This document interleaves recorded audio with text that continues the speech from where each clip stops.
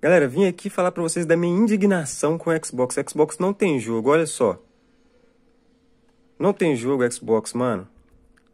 E aí eu fico indignado, mano, porque ele não tem jogo, não tem jogo nem aqui do Xbox e também não tem jogo de outras plataformas.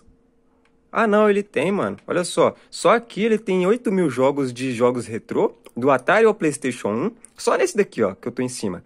Aí aqui, nesse aqui Pro, tem mais pelo menos mais uns 100 jogos de Wii, GameCube. E aqui tem mais uns 200 de PlayStation 1, Dreamcast e Saturno. Olha só que loucura.